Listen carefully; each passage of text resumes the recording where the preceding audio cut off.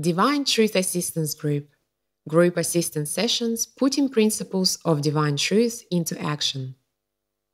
This recording is from the Understanding God's Loving Laws group and is part of an Education in Love series.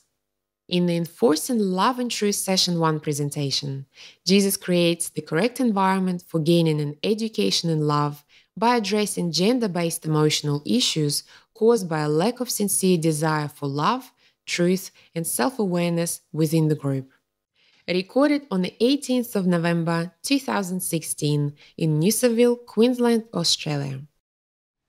What happens now is every time we have a break between sessions, now where, where we go straight on to the next session, I've got to do a number of things. And Lena's got to do a number of things. She, you can notice that she's actually switch, watching, switching over. Now all eyes are on Lena, so she gets nervous. But she's actually switching over um, the presentation tag list, which is a pre chapterization of our sessions. So, what she does is she switches over the, the tag list, and then what happens is that we have a time code going all day, and every time I go to a new subject, she hits the button on that subject, and that creates a time for that particular chapter. So that means the videos now can be timed, and uh, that's an awesome awesome thing for you when you're watching it, particularly if you're watching it with QuickTime or on YouTube or something like that. You can jump to those chapters. So, so it means that every every time you ask a question, that will also be chapterized. So now you'll be able to jump straight to where, oh, what was that question? Find the presentation, jump to that question, and that means that it should be a lot easier for you to see what's going on, right? And when it comes to watching watching the material again. So we've tried to spend a bit of time refining this chapterization of things, and that's why Lena's got so many tasks all happening at the same time there. Some very nervous people tonight. Have you worked out why you're so nervous? Can you feel that there must be some spirit influence to cause you to be nervous? Is that right? Many of you have been here before, right? So there's nothing to be nervous about. And what I'm going to suggest to you is that this, often the spirits know in advance what I'm going to do. And then they make you feel nervous about it without you realizing what's going on. Right? And this brings us to this thing that I'd like to discuss with you, which is enforcing love and truth. Now, that sounds a bit like, is it an oxymoron? you know, where something sounds the opposite, uh, enforcing love and truth. How do you enforce love and truth? Well, one of the things you'll learn in the presentations is, that God actually has created a whole series of laws and principles that actually do enforce love and truth, whether you accept it or not. And so, what we're wanting to do ourselves, Mary and I, in our presentations from now on, is to start enforcing love and truth in the presentations. Does that make sense? Now that makes sense, doesn't it? Considering that we're talking about love, surely, and we're talking about truth, surely one of the things we're going to eventually do is try to help you eh, to live in harmony with those principles while you're here with us, at least. Even if you don't want to live them anywhere else in your life, at least while you're here. So this means that we want to raise an issue, some issues, firstly, about being here this was what you were meant to have done before you come here. Watched all of the 2014 Introduction to Love Assistance Group. Watched the 2016 Developing My Loving Will Assistance Group. Watched the 2016 Developing My Loving Self Assistance Group. And read all the outlines for this group, which have all been prepared and given to you a month in advance. Now, if I asked you, who's actually done that? Who hasn't done that? Okay. Next time you do this, you'll be leaving the very night that we ask this question. Can you see why? Because you're, you're already being unloving to the presenters. They've prepared all this material, and you're already being unloving to us by not being prepared yourself. Do you see? And we did ask you to. And in fact, you being here is actually a contract you're making with us. We've, asked, we've said to you that the prerequisites are these. And you being here, you're basically saying, I've done those things. So those people who put up their hand, basically you're lying to us. Now, if you're lying to us before we start a session about truth, can you see that the, the, the issues of truth are not very important? Do you see? So I'd be well within my rights to, to ask all of those people who put up their hands to leave right now, considering that I feel you haven't really prepared yourself for this group. Now, I've done 500 hours of preparation for this group, which was all a gift of my time to you, and yet you can't even read the outlines that I've prepared? There's something wrong there, right? So that's something to consider right up front. Do you see? Now, next time this happens, unless you're someone who's brand new, right, we're not going to make any allowances. That, that'll be it. You'll have to walk out this evening. Does that make sense? Yeah. You're not treating, you're not treating our time as if it's worth anything. You're really not. And this is a problem for us now. Our time's worth something, even though we give it for free, it's worth something to us. Does that make sense? Okay.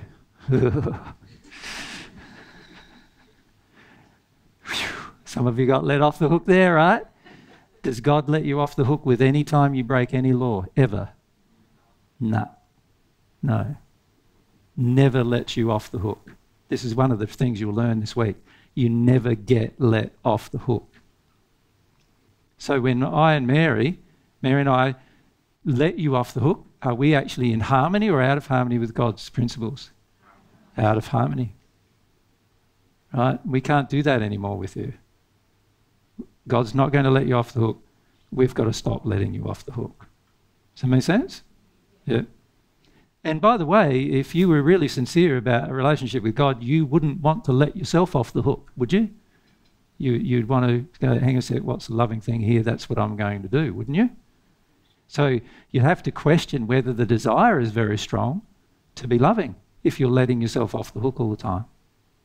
It makes sense to you? Yeah. And this is where we feel Yep, we're, we're now into our third group, third assistance group on an education of love, and still you're letting yourself off the hook to, to love. How sincere are you? Like many of you have put like this whole week aside, you've obviously bought some accommodation and paid for that, and you've got flights and all sorts of things going on, and yet there's still not like a strong will to love. So that, that's an issue that needs to be addressed, you see. And we want to encourage you to have a very strong will to love. In fact, by the end of the group, you'll see that, I mean, particularly the second to last day, if you last that long, and if you don't, you've got two presentations on video you can watch afterwards. But by the, by the second last day, we start talking about things like desire and how important desire is. And to be honest with you, desire to love and desire to remain in harmony with truth is going to be the biggest desire you can ever develop for yourself for the rest of your existence. That's why it's so important. And what we notice is that many of you have very little of this desire to love and desire for truth yet. Now, we've been trying to encourage you to have that desire, but after the third group, and many of you have been to two, and remember, if you've done the prerequisites, you should have already watched all the first two anyway. And yet, by this time, there's still not a desire to love, and still not a even a desire to love yourself, let alone love others. Then, obviously, we've got to start questioning how strong our desire to love actually is. Yep. All right, let's have a look at some other problems that we have. At the moment, we feel the state of this group, and, and it's not this group, just this group, because we've noticed it slowly developing over time. But the state of this group is that it can't really support an education to love and actually does not have a strong desire to love in its current state. So, so in other words, if we just let alone your, you right now as to how you came in the door, really it's almost a waste of time us presenting the material to you because there's so many things going on that you're not aware of or that you are aware of and not doing anything about that, that we feel we need to raise with you first. Now, we didn't do this with the last group, and the last group had less of these issues, but what we're noticing is each group progressively seems to be getting worse with these issues, not better, and so we need to raise them with you. Does that make sense? So, what are some of these issues? We've got to immediately address and solve some of these serious problems that are developing. So, we, we want to do that. This is the main problem.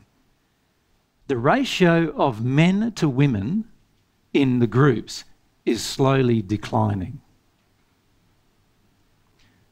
So it used to be years ago that we used to have almost 50% were men and 50% were women in most of our groups. In the assistance groups, the first assistance group was a bit more even, but slowly it's been declining. And, and in this group, it's 24%. So one quarter of the people present are men. Right? So that's, that's a problem for us. What do you think it indicates, this problem? It's got to indicate something, doesn't it? That there's this declining. Now, given the fact that this particular group in the spirit world, which is the only other places we've actually run them, actually have a very large attendance from men because men are in particular interested in principles governing law. So, given that's the case, why is it on earth that we're having a completely different trend? What's going on? There's got to be something going on, right? Okay. What do you think it might be? You want to say Laura down the front here? So if you come down the front, thanks, Alex. Um, just hang a sec for the mic. We've just got to take them off mute.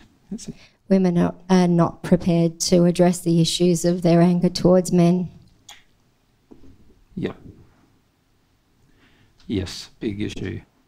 So we would like to raise this issue with you. This is something we've noticed with this particular group is that many of you ladies have a very high amount of rage and anger towards men that you are not seriously attempting to address. Does that make sense? So, what we'd like to do is just sort of outline, without naming names, we're going to outline how many people we feel are in certain different issues and problems that we would like to actually raise with you, because there's a number of different issues. So, let's first start with our ladies, the women in the group. There's a group of women who are here right now who emasculate men emotionally and sexually and gain power over, control, and bully other women. There's 12 women, women in that state at this stage, at this group right now. Right? And many of you would be surprised if I started naming names. Many of you don't think you've got this problem, but you do. Right?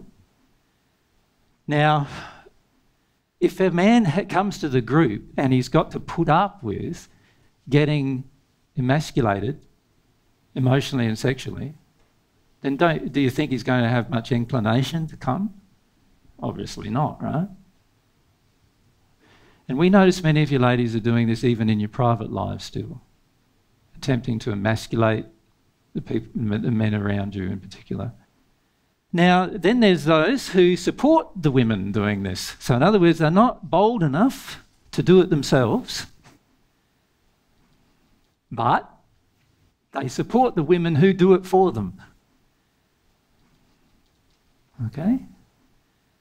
And there's another 10 of those. So now we're at 22. So 22 of this group, that's more than one quarter of this group. In fact, it's far more than the men that are present at this group want to harm men. So to just be here in this group as a man requires that you accept emasculation from women. Now, there's only three men in this group that don't do that. The rest of the men do. Right? Because they, they wouldn't even be able to bear being here unless they either had a swinging to the opposite area, which is the arrogant, arrogant attitude towards women, or they're accepting of it. They can't be in the middle without being in this terrible discomfort. Right? So that's an issue. There's 22 there who are using this as basically supporting this uh, and, and actually wanting to create it. In fact, the, the group here, you are carrying around with you immense amounts, numbers of women in the spirit world who come to these groups just to emasculate men. That's the only reason why they come. So you think you're rocking up here to learn about love and truth, and they think you're rocking up here to emasculate men. That's why not many men want to come, right? So that's an issue. We need to address these issues. Let's look at some other. There's women who want power and control over other women and use abusive men and women to get it. There's three of those women in the audience right at this stage. And then the biggest group of women, and probably one of the most problematic in, in a lot of ways, it's women who justify their fear of women bullies and do what women bullies want rather than confronting them. There's 23 of those. So many of you ladies have this fear of other women and what they might do to you if you disagree with them. But you're not seeing that actually what you're doing is supporting their actions by not disagreeing with them. Right? By actually doing what they want you to do or not saying anything, which is what most of these 23 do, not say anything. They observe this bad behavior going on, but they don't do anything or say anything about it. You are passively really approving of that behavior. Now, if you've got, by the way, there's only two women that are not in this whole group that are not doing one of those four things. Two. So, so we're either attacking men, supporting the attack of men, or being afraid of the women who attack men. so, can you see that 90, 95, 98%, in fact, it's about 96, 7 or 6% of the women in the group either want to attack men, want to control men, want to abuse them sexually, or support those who do, or are afraid of, of actually saying something about it to those who do. So, what the general spirit then in the group becomes really it's a, a, a, quite an aggressive stance. Does that make sense towards men? Yeah. Now, the only kind of men that are going to cope with that are men who are really arrogant and and self pretty self assured. And there's only a couple of those, three of those in the group. The rest of the men are all men who get pushed around by women, attacked by women, attacked by women's spirits, and and so forth. So that's what I'm saying, the majority of men. Even me being up here is difficult sometimes. Because I'm having to receive that barrage of your rage with men. Every new truth I raise with you, you know, many times you believe it's because I'm a man that I'm saying that, you know. You, you don't have to listen to it then. Right? You get up, Mary gets up here and says something to you, you're a bit more open, many of you women, but even then, not really open because she's saying a lot of truths that don't, you don't want to hear. So, you know, that makes it difficult too. So that's the women issues. You can see they're quite serious issues. Now, what I put to you is this. We, talked about this in 2014 in the groups. Remember, there's a whole series of recordings. For those of you who did your homework, you would have seen those recordings where we're talking to women about this issue. Remember, in the second of the 2014 groups, we actually removed half of the group, which were mostly women, from the group because of these issues, and yet the same thing's continuing to go on two years later. What does that tell me? It tells me that most of the women in this audience have no desire to address these issues. That's what it tells me. Now, I know that feels pretty hard for most of you ladies, but how can you say that two years later, if it's still there, how can you say there's a strong desire to deal with it. Whether it be the fear that you have of these other women, or whether it be you be one of the women who wants control and domination, or whether it is just your anger and rage that's inside of you causes you to believe that it's okay to attack men even if they've done nothing to you, there is a problem here. And it needs to be addressed. And if it's not addressed, what's going to happen? We'll be having groups in two years' time where there's hardly any men at all there because no man could cope with being there anymore. And this tells me that many of you ladies have this viewpoint that you can sweet talk your way, smile your way through a whole event thinking it's great, coming up afterwards and saying it's great, and still not do anything about it. Now, that's an issue of desire. Right? And that's something we would like to see addressed in this group. That make sense? Okay, let's look at the men. Obviously, there's a problem with the men too, isn't there? Now, there's two men in the audience, and I've talked to both of you before, that you want to criticise, compete with me, and pull me down personally. I'm not going to put up with that, this group. You do that once and you're out. Does that make sense? They know who they are. you do it once, you're out. The men who want sexual power and control over women, there's three of those in the group. Right? Now, for a couple of them, they've known about this problem for a long time and still not addressing it. For some of them, they've only just, one of them, they've only just found out recently they've got that problem. What I'm suggesting is start looking and dealing with that. But the third group of men is the most problematic group.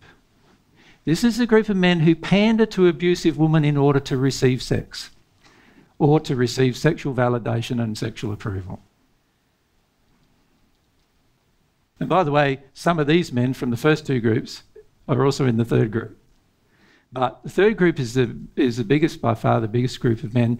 And basically, what you're doing, guys, is that you are spineless without a desire for, to uphold love and truth in relationships.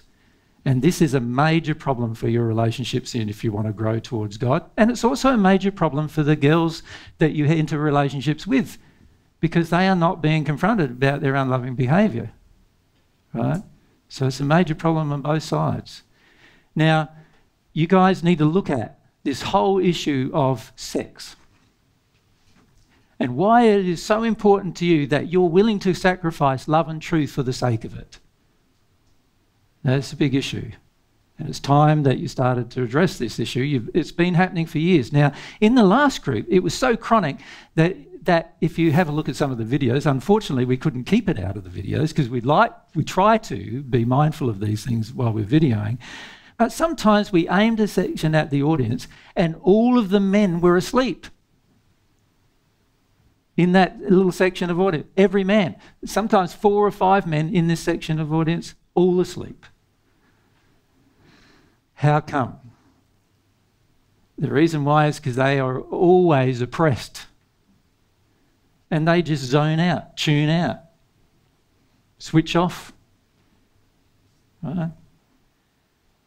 So we've got to, men, men, we need to stand up for what is true and right. Of course, that also applies, doesn't it, to the group of ladies who are in the fear state. Time for you to learn to stand up for what is true and what is love. Stand up for it. Even if you're going to get attacked, even if you're going to get belittled, even if you're going to get abused. Does that make sense? Yeah. Now, these two sets of problems with both the men and the women, and obviously we're saying here that the men's attitudes are just as bad because they're accepting this from women and not doing anything about it, not grieving it, releasing it from their lives, changing the way they interact. So that, that's an issue too. Now, these issues are, are really chronic for this group. And the smaller the group of men get, coming to a group, the larger this problem is. Right? So the previous group, we remember we said at the beginning the previous group had 28% men. This group had 24% men. So this group's got the problem more. And by the way, two of the men came from the last group. As well in this group, they decided they wanted to attend again. But if, if, so if you took those out, it would be more like 20% of our men in this group. So that tells us declining men, bigger problem, bigger problem with this issue. And many of you are not, many of you men are not seeing this in your personal lives because, because these, the women who want power and domination over you frequently give you sex in order to maintain this power and domination, and you're just not seeing the rest of what's going on most of the time. Right? And for the ladies who are doing it, yeah, there's a lot of rage and a lot of anger with men. And many of you ladies who are actually the leaders of doing it have had nothing bad happen to you personally in the hands of men. Many of you ladies rather have had an attitude from men that they think you're great. And in fact, your daddies have often told you you're the best girl in the world and you're their special daughter and so forth and so forth. And this is one of the reasons why these angry women spirits can just come near you and motivate you to take this dominating power over men. Because you had this dominating power over your daddies. Does that make sense? Time to address it. Stop putting the issues off, is what I'm saying. You follow? You keep putting these issues off, you degrade yourselves. So, what, what I'm really suggesting here is that almost everyone in this group over a period of time has degraded themselves further, even though they're coming to learn about God's love and truth and to get educated about love. Is, is that the way you want to go? Like, I don't think so, right? So many of you need to sort of wake up to what's going on here and actually see it as an important problem, something that needs to be addressed in your day to day life, not just when you're here, but in your day to day life, so that we can come back to a future group, maybe in a couple of years' time, and we go, wow, there's like 40% men, 45% men, 50% men would be good, wouldn't it? 50 equal, equal amount. That'd be good to see. That's what we used to have. So why, there's no reason why we can't have that that, that equal balance. That make sense? Yep. So we would like you to address these problems. Now, now we know some of you are just going to not bother addressing these problems, or you're going to consider uh, keep thinking that the problem doesn't apply to you, right? And what we're going to do there is uh, we're going to draw the line in the sand on these issues too at some point, right? And when I say at some point, we've decided that the point is this group. That's what we've decided. So if we notice any of you engaging, both the men and the women, engaging these behaviours in the group, we will first say something about it. And if, if that has no effect, then we have to ask you to leave. We want, a, we want a group to be conducive to learning, and we also want this group to no longer be so influenced by external forces, spirits in particular, who love coming just to engage their addictions through you and through your unhealed emotions. Right? That's what we would like to see. And that's why I wanted to have this chat with you before we begin. It's the one and only personal chat I'm going to have with you about some personal issues in this group. Other than that, it's going to be no, you need to leave or not. And just understand that if you asked, are asked to leave, it's going to be one of the issues Mary's raised with you already, or one of these issues that has caused it. You will need to be self reflective about it because we will not tell you even what the issue is generally. We will just ask you to leave. Does that make sense? Now, we're not threatening you here, we just feel we need to clean up our act here. That's all we need to do. If you're truly desirous of getting an education in love, surely you'd be desirous of solving this problem. If you are truly desirous of treating everyone on this planet equally, surely the intergender emotional issues are very paramount to addressing these particular issues, are they not? These particular problems. So, what we're, what we're basically saying to you is when it comes to intergender emotional issues, most of you, both the men and the women, are still resistive addressing them.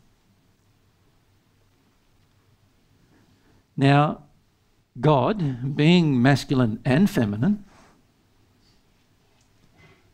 can only have a connection with those who have a sense of equality with masculine and feminine within themselves. Now, I don't mean that they are, have an equal amount of masculine and femininity in themselves, because that's actually impossible, even though New Age people would like to tell you otherwise. The reality, though, is each of you can have a sense of equality with the other gender that is currently not present. You either are putting yourself down in relationship to the other gender or treating yourself as superior to the other gender. And these issues need to be resolved if you ever want to have a relationship with God and if you ever want to fully engage all of God's principles and laws. So, that, so it's something that needs to be addressed. Does that make sense? Do you have any questions about it? because I'm happy to ask, answer a few questions about it if you want. But remember, your questions need to be questions and succinct. Elvira, thank you, right at the back. Um, what does sexually emasculating a man who you don't have a relationship with look like? Um, well, um, there's a number of ways you can se- sexually emasculate somebody, isn't there? You can pull down their gender. Now, many of you ladies do that automatically. Many of you have the attitude of, he's a man. What would he know about, particularly about emotional issues, right? Or the other way is to pull down his looks and his, like, as a man, what he looks like, his height or his stature or his, uh, and and lots of other things as well that would come along with that. His personal personal looks. Another way is to g- try to get his emotions to the point where he destroys himself. And like I said, 12 of you actually have this feeling in you that you would like to use your different techniques, and the spirits with you want you to use these techniques to get the man to the point where he destroys himself. Many of you ladies also think that men are just uh, controlled by sexual urges. That's it. Right? Which is actually not true, but you believe that. Because you want to believe that. You want to be able to dismiss him in many other ways, dismiss what he's saying to you when he attempts to correct you and so forth. That's another example. Does it make sense? So there's quite a no, number of ways which, which it can be done. And many of you are actually using every technique possible to do, every one that I, that I just mentioned. Would you mind putting up the slide again with the women's?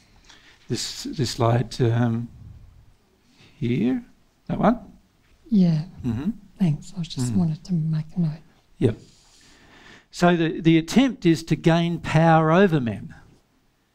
So, so many of you, even though nothing bad has happened to you personally, many of you are now driven by spirits who all they want to do is punish men for the things that happened to them in their life when they were on earth. And they see you because of your arrogant or self, uh, your, your feeling of superiority over men, they see you as the vehicle via which they could do that. Does that make sense? They see you as the vehicle through which they can, the spirits see you as the vehicle through which they can pull down and denigrate men. And I'm suggesting to you that's trying or attempting to emasculate. In fact, to be frank with you, these are some of the darkest people who come along to our groups. Because some of them don't even have a desire to fix it, and we've talked to them about it for years. Many of you are in that category. So, what I'm suggesting to you is where is this desire to love if, if you can do this? If you can do this to any gender, where is your desire to love? Yep. Now, for many of the men, you know that you're on the receiving end of this a lot, guys, don't you? Really? You do. And yet, we don't do much about it, right? We're hopeful that they stop doing it at some point without actually addressing the issue. Right? We need to stop hoping that they're going to grow up and, and actually act lovingly and start actually saying, You're just an unloving person. I don't want to interact with you doing this. Right? We need to do something about it. But in particular, we need to feel about it. And this is the problem with all of these issues is there is a deep resistance to feeling and releasing the emotion that causes these problems. Deep resistance to emotional work still. Deep resistance to actually going through the pain that you're going to need to go through, whether it's here on earth or once you pass. So you might as well get it over and done with here. Deep resistance to that process. And there's also the desire in these women, of course, to bully other women into doing and taking the same actions. So, so I used to notice many years ago when I first met Mary that she'd get together with a group of these women and she'd come back trying to abuse me. I'm going, what's going on, darling? and then she'd realise, ah, I'm just trying to get their approval all the time. And uh, to get their approval, I have to also join in their emasculation of men. That's how I get the approval. Once you realise that, work through the emotions, it doesn't do it anymore. You, you can do that too. But you ladies, like, for many of you, I've known you seven or eight years and you're still doing it seven or eight years later. That means you haven't even touched the issue. So it needs to be addressed. Stop putting off issues, guys. Yeah? Can you see putting off issues is this you're wasting time, your own time, you're wasting your own life. So the truth is that what we want to do is we wish to clear up these problems once and for all time in our groups. Does that make sense? That's what we want to do. Very few in the group are addressing the intergender issues seriously. So what we'd like to start seeing is that you guys actually put some effort into doing that in your day-to-day life. Effort into de dealing with the intergender issues. Right. Whether you're a man or a woman, obviously there's a problem here, but particularly for, for women, there's a problem here because you're all the dominant amount of people in the group. 75% of you are women, and the amount of men is declining, which is an indication that they don't want to be with you. Uh, many of you are living alone lives as a result, and and those of you who are not living alone lives have frequently got a man that you can dominate, and he accepts that domination. So this needs to be addressed. So those who do not change their desire before Sunday morning will be removed from the group. I'm giving you a day. Hold tomorrow to look at this issue. And if I feel by Sunday morning some of you, you who are in this place where you just do not definitely, you definitely do not want to change your desire, I'll be asking you to leave. And to be frank with you, if that means we're left with 10 people in the group, you know I'm prepared to do that. I've done it before, right? In the second assistance group at 2014.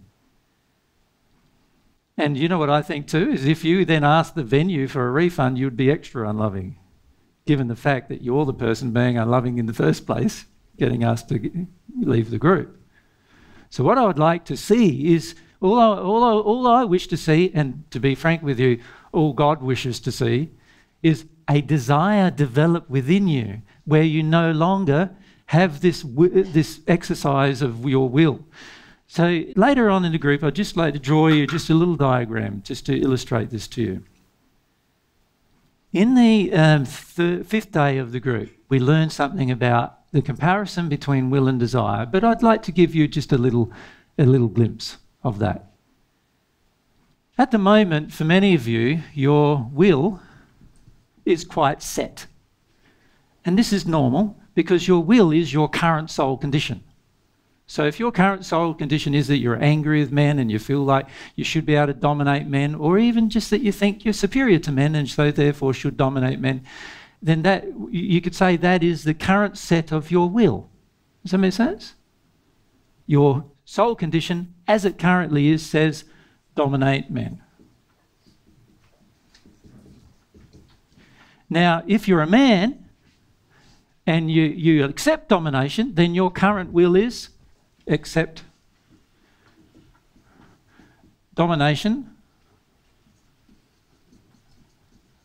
And what's the purpose of accepting it? So that you get sex, isn't it? So you get some sexual validation. That's for the men, right? Okay, so that's the will. That's where it's set right now. That's the will set there. Now, for the for the for the women who are afraid of these kind of women, then your will is set. I'm just going to stay afraid. I'm just going to do whatever they ask. That's your will set. Right? You can't change your will by forcing some kind of change here. This is something that most of you still do not understand. Part of your will is called A complete different set of laws operate upon desire than operate upon will, and you'll learn that in our second to last day. As I said, if you last that long. For this to change, this has to be developed, not forcing this to change. So you can't force this to change. That's your will, that's your current state. You can't force a current state to change. All you can do is develop a desire to change the state. So, so how do you, as ladies who want to dominate men, how do you develop a desire to no longer do that? Can you see that something has to change, doesn't it? In the desire area of your life. At the moment, your desire is fixed, saying, dominate men, dominate men. Your desire is the same as your will. And if your desire is the same as your will, nothing will change. Nothing. And that's why nothing, for most of you, for many years, nothing has changed. For those of you who are the first time along for a group, for you, if you look back in your life, you'll see that, yes, your desire is your will most of the time. That's why nothing really changes very much in your life, right? To, to, for something to change here, desire has to change. That's, that's what's going to have to change. So, what I would suggest you do tomorrow is look at the will principles and look at the desire principles and ask yourself how are you going to develop a desire to stop this problem? And if you're a man, how do you develop a desire to stop this problem? It's got to be something you can do to develop a desire to shift your will to a new position. Your will will not shift unless your desire motivates you. So that's given you a clue about how you can survive Sunday morning. Does that make sense? Rachel, if we can have the mic down here, just keep your hand up, Rachel, because the guys don't always know who you are. In terms of addressing it lovingly with mm-hmm. the participant, I mean, standing up and saying something, how do we best do that? You, are saying addressing it lovingly. What? When? What, give me an example of what the question is well, about. If we see something that's unloving, unloving. what's like? Can I can I give you an example? In 2014 assistance group, I saw three of the persons that are actually in this audience gang up on a guy and pull him down, emasculate him, and they all had smiles on their face while they were doing it. Actually, right? Now, if you observed that and you saw it occurring, what would you do? Is the question. Well, surely you'd go up to him and say, You're just emasculating him. Wouldn't you? Just say what the truth is. Isn't, isn't the loving course of action to just say what the truth is? now, why wouldn't we do that? Most of the time, it's because we are afraid and we justify the fear as a reason for not doing the loving thing. Now, that means that we have a desire to live, with, our desire is do whatever our fear dictates, and our will is do whatever our fear dictates, and we need to change that. We need to change it so that no, I'm not going to do what my will dictates. I'm going to do what love and truth dictate. I'm going to enforce, do what God's laws do around me. I'm going to enforce the same thing, love and truth, in my day to day life. That's what I'm going to do. And I need to make that choice. But, but to do that, I need to have a desire to actually put up with whatever comes at me if I do it. Do not? And now, if, if, if my will is saying, live in fear, which for many of you, it still is saying this, right? Then can you see where you're going to have to develop some desire to no longer live in fear and to live in harmony with love and truth instead? That's going to have to happen before you'll even speak up before you even say anything. So I see a lot of you just observing bad behavior in your families, in your relationships, in, in your friends, you know, and you don't ever say anything. And that tells me there's no desire to shift from live in fear. So your desire is still live in fear. If my desire is the same as my will, no change is possible. So I'm going to keep living in fear. Right? And then you run along to another assistance group and learn a bit more about love, and run along to another assistance group and learn a bit more about love. But if my desire is set to live in fear, can you see that none of those groups are going to benefit me at all? What's the point of even going? Unless I'm willing to challenge this desire and change it, my will will remain the same. That's what we need to do. So, what I'm asking you to do tomorrow is I'm asking you to ex- truthfully examine your own desires and compare those desires to the current set of your will, you know, how your will is currently, I want to do this at the moment. Feel about what you want to do right now to men, you ladies. Many of you are angry, resentful, really peed off with men, right? So feel that. That's your current desire, that's your current will. Then ask yourself, well, that is out of harmony with love and truth. So, how do I get this will to change to this desire which is more in harmony with love and truth and I treat men equal to myself? How does that happen? Something you're going to have to concede, do something about that. Unless you don't want to, of course. Then we've got to start saying, well, if you don't want to have a desire to love, are these groups helping you at all? I don't know. I can't see how they are. What's the point of myself and Mary sharing all this time developing courses for hundreds of hours? Like this, this year alone, I've spent 1,500 hours preparing material for you about love. And another, if you examine the whole month of time, so another three months of time delivering it, only to see that desire is not changing. Now, I'm not invested in your desire changing. You should be, though. Can you see? You should be invested. You're, you're wasting all this time otherwise. And not only that, you're actually continuing whatever your current condition is or even making it worse. Isn't that a waste? At some point, you're going to have to say, when am I going to stop this process? When am I going to change my mind? When am I going to do something different? When am I going to develop a sincere desire to challenge what I know to be wrong? When am I going to do that? It's a valid question, isn't it? Valid question. And that's why we'd like you to look at this question Are we here to love or just talk about love?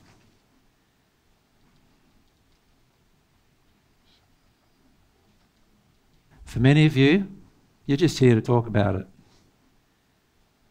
that needs to change to a desire to actually feel it. And to be frank, myself and Mary can't spend keep keep wasting our time with people who just want to talk about it. We want to spend our time with people who actually want to do it. We want to help them. And they're a joy to spend time with as well, by the way. Because the more they develop, the more they become loving, the more they finish up working through these particular issues. And they want to for themselves. Not you don't have to even motivate them. They want to do it. Yeah. Anyway, I'd like to leave that with you. Can I do that? Bit stunned. Can you see it, it, it's something we need to raise? Yeah. Can't keep going on. Like you, many of you are just living in this illusion that you're doing something about love when just by being here when you're not.